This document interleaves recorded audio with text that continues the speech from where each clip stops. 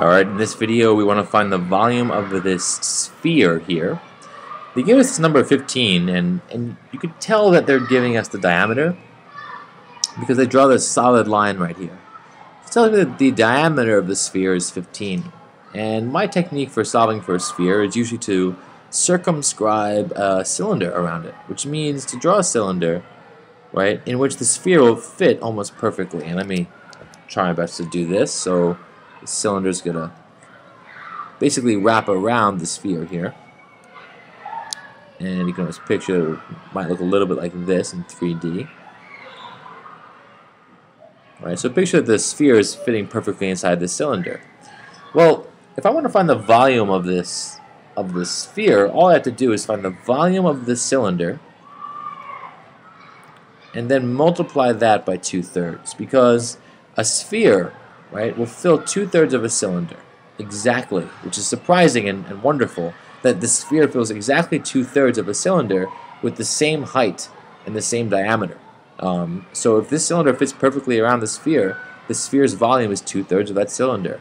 And this connects to the, the formula of 4 thirds pi r cubed. We're just shifting things around here, but I, I like to use this formula. It's more intuitive. I can remember that and think about how the sphere will fill up two-thirds of that cylinder. This farm is also fantastic and has its own intuition built off of off of this, right? They build off each other, which I go into uh, into other videos. But here I just want to point out that we can flexibly use either one. I'm going to oops, I'm going to use the one on the left here. So what do we do? Well, to find the volume of a cylinder, right? What do I do? Well, I, I find the area of the base of the cylinder multiply it by the height. So the area of the base is going to be the area of a circle, pi r squared, times the height. Well, what's the radius of the cylinder? Well, if the diameter here is 15, that also means that the diameter on, in every direction is 15. Right? That's how a sphere is built. Every diameter is equal. So that diameter is 15, and you can see the radius should be half of it. So the radius won't be 15, it'll be 7.5, right? Half of 15. So we have pi times 7.5 squared, I'm plugging into this formula, times the height of the cylinder. Well, what's the height of the cylinder? Well, if it fits perfectly on the sphere, the height's 15 right? Just like this, the height of the sphere is 15. So this is our multiplication that we're setting up to find the volume. So I'm going to square 7.5, 7.5 times 7.5. We get a number, 56.25, and then we're going to multiply that by 15, by the height, times 15. We get 843.75. So it's pi times 843.75.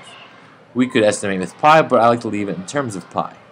Because now, right, we don't want to touch that irrational number.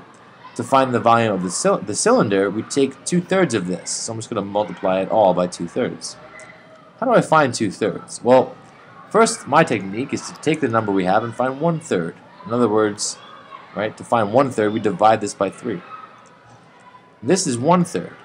We're finding two-thirds, so double this. 562.5. So this really equals pi times 562.5. And this is two-thirds of the volume of the sphere, so it's of the cylinder, so it's the volume of the, of the sphere. And if we had used this formula over here, we get the same thing. Let's try it. 4 thirds times pi times the radius cubed. The radius is 7.5, and we're cubing it now. Let's try this one out. So, so 7.5 times 7.5 times 7.5 is the radius cubed. We get 421.875. But if we leave pi alone, we want to multiply that by 4 thirds. My technique for doing that is to find a third again. Divide by 3. Gives me this number. Multiply that by 4. And again, we get, look at that, 562.5 times pi. So pi times 562.5. And that gives us the same answer. So we can approach this either way. Thanks.